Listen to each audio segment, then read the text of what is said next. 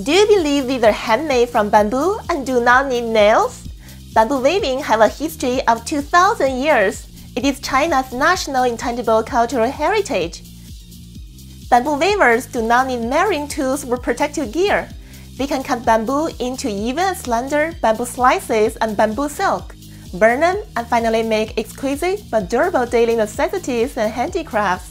The sun umbrella made of bamboo is beautiful, but it weighs only one pound.